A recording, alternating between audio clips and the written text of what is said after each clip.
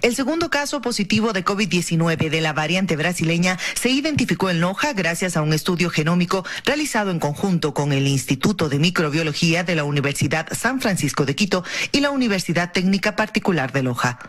Según los investigadores, este nuevo caso no tiene relación o nexo con el caso cero detectado en el Hospital del Seguro Manuel Ignacio Monteros, pues las nuevas muestras se tomaron de pacientes ambulatorios. Tomamos muestras de varias casas de la salud de nuestra ciudad de Loja, entre ellas están hospitales, clínicas y algunos laboratorios privados. La muestra identificada de la P1 y de la de Nueva York corresponde a un laboratorio privado.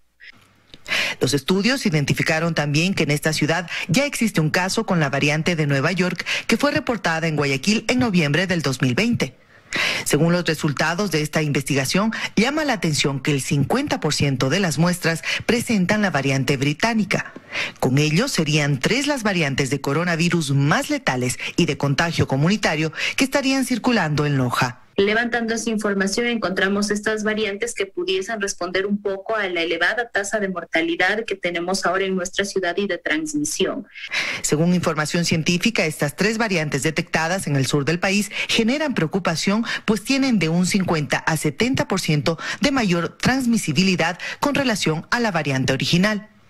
Los investigadores anuncian además que en los próximos días se ampliarán los estudios en las provincias de El Oro y Zamora Chinchipe.